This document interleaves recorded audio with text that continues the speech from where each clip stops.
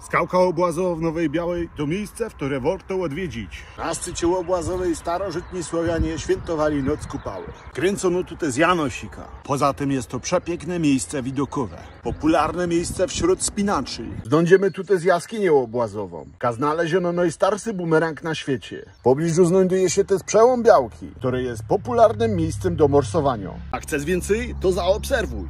A ja spadam.